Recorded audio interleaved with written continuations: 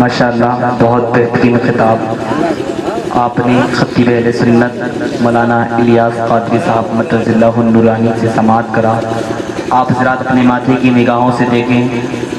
ابھی آپ حضرات نے دیکھا نارو کی گونج میں ایک آل رسول کی آمد ہوئی، اس کا نام خطیب و کمال علی رسول، عاشق رسول سجید رضوان میاں صاحب الحمدللہ، اپنی شادی خطابت کے ساتھ کرسی خطابت پر جگوار ہیں، آپ حضرات اپنے ماتھے کی نگاہوں سے ان کا دیدار کر کر اپنی نیکیوں میں اضافہ کر رہے ہیں۔ اور سونے پہ سہاگا تو یہ ہے کہ حضرات یہ آل رسول بھی ہیں اور نائب رسول بھی ہیں، ماشاءاللہ۔ محبت کے ساتھ بولو سبحان اللہ علامہ الیاس قادری صاحب تقریر کر رہے تھے تو اشارے اشارے میں بتا رہے تھے کہ روح کی پیاس کو اخلاق کا پیارا دے دو۔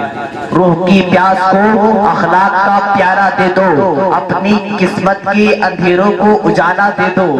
روح کی پیاس کو اخلاق کا پیارا دے دو۔ اپنی قسمت کے اندھیروں کو اجالا دے دو اور اپنے روکے ہوئے مولا کو منانا ہو اگر، اپنے روکے ہوئے مولا کو منانا ہو اگر، تو اپنے حصے کا پڑوسی کو نوالا دے دو، اپنے حصے کا پڑوسی کو نوالا دے دو۔ ماشاءاللہ یہ عاشق رسول جلوہ بار ہے۔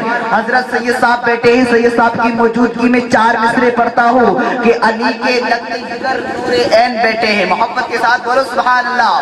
علی کے لگتے جگر نور عین بیٹے ہیں۔ فاطمہ زہرا کے چین بیٹے ہیں۔ علی کے لگتے جگر نور عین بیٹے ہیں۔ فاطمہ زہرا کے چین بیٹے ہیں اور انہیں خبر تھی کہ نانا گرا سکتے نہیں۔ انہیں خبر تھی کہ نانا گرا سکتے نہیں۔ تبھی تو پشک کو پکڑ کر حسین بیٹے ہیں۔ تبھی تو پشک کو پکڑ کر حسین بیٹے ہیں۔ حضرات کی عاشق رسول ہیں۔ ان کے دل میں وہ تمنا ہے جو ہر ایک عاشق رسول کے دل میں ہوتی ہے۔ یہ آل رسول ہیں۔ الحمدللہ، ایک دیوارہ نبی کی یاد میں تڑپتا ہے۔ اور نبی کی یاد میں اس کو زیادہ تڑپ ہوتی ہے۔ وہ اپنا قلم اٹھا لیتا ہے۔ اور اللہ نبی سے عرض کرتا ہے کہ میرے مولا، تو نے مجھے اب پہ پیدا کیا، جب پیدا کیا ہوتا، جب تیرا محبوب ظاہری طور پر دنیا میں موجود تھا، حضرت شاعری کے انداز میں کہتا ہے کہ میرے مولا مجھ کو مدینے کا ذرہ بنا دیا ہوتا۔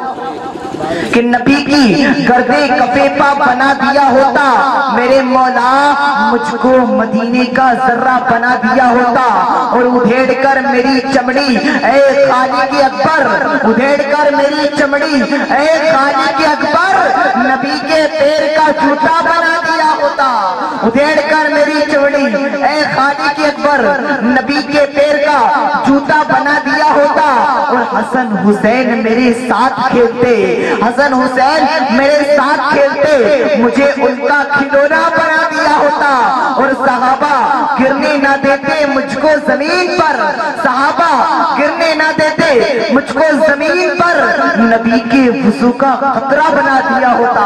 نبی کے وضو کا قطرہ بنا دیا ہوتا۔ آئیے حضرات، خطیب و خطیب نوجوان، عالم نبیل، فاضل جلیل، خطیب سنت، خطیب ہندوستان، حضرت علامہ و مولانا سید رضوان میں صاحب کو دعوت سخن دیتا ہوں۔